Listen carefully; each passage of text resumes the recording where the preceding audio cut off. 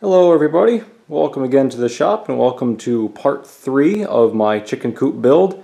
Today we're going to be focusing on making all the doors and hanging them on the coop. So the first thing I've done is made the front door. It's pretty straightforward, all I did is I, of course I measured the height and width that I needed, cut several pieces of wood to accommodate that, and just two 2x4s going across to screw them all together. Uh, these 2x4s of course are going to be on the back or the, the inside. So a lot of times I find myself working alone and in fact that's uh, the majority of the time.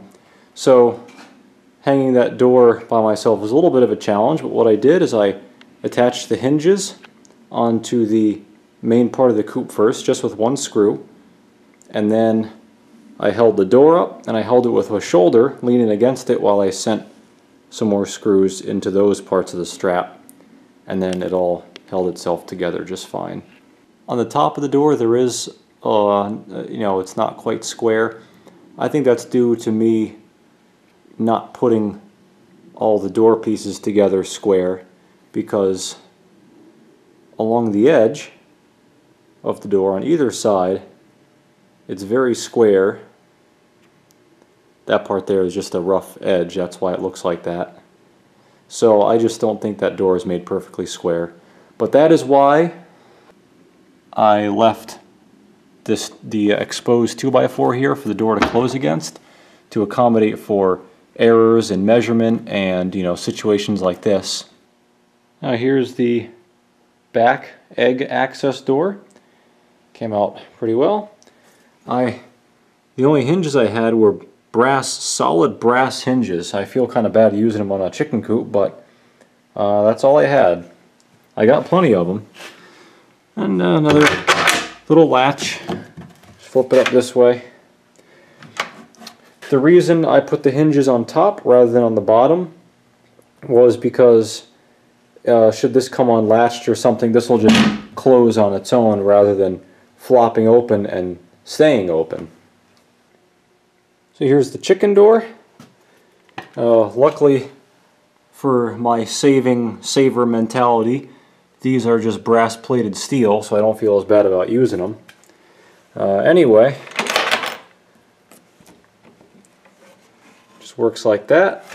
Uh, my screws are long, so I've been cutting them off with the angle grinder.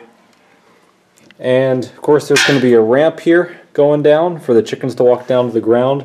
So this will just flop down onto the ramp and that's how it will be supported.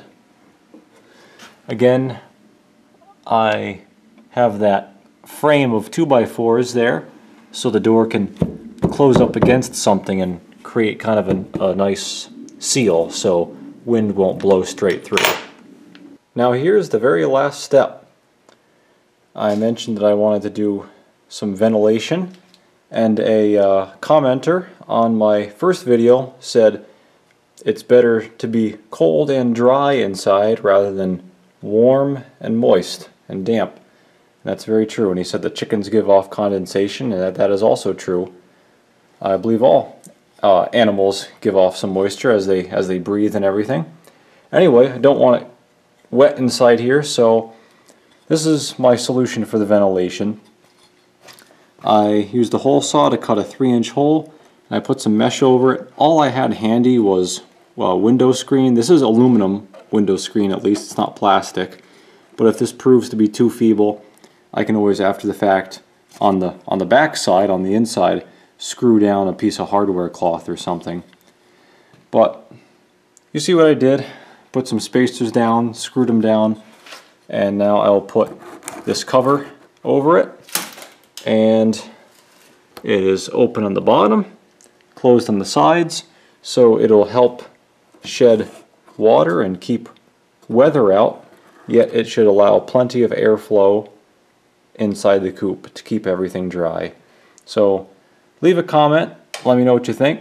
Tell me if you think that's enough or maybe I should do more uh, at any rate I think it'll be it's, it's definitely better than nothing oh so I I've got this one here and another one on the other side of the front door so there will be two holes total and these combined with the gaps that I mentioned earlier on the on the egg door. I think that will create a, a very minor but effect, possibly effective draft to draft out the inside air and keep it dry inside. Well, there you have it. I put the two vents on. I also put on the support bracing for the legs. I still have a couple more pieces to put on on the back side. I ran out of 2x4s.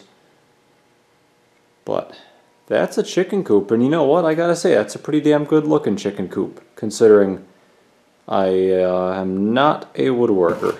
Let's give you a look around. Slight little pitch to the roof. Two nice windows. Nice sturdy legs, keeps it off the ground so you could easily access everything without having to bend over. I think that came out pretty good. I'm excited. The next step will be to paint it. I got a gallon of paint at Walmart. Nice uh, barn red paint. I'll, so I'll tape off the hardware, tape off the windows, give it a couple good thick coats of paint and bring it outside and set it up with the run and that'll be part four. So once again, thanks for watching everybody. Leave a comment if you feel so inclined. Hit the subscribe button to keep up to date on all my new videos. And soon enough I'll have some some chick videos. Those will be fun to watch I'm sure and fun to make. So stay tuned. Thanks for watching and come on back for more.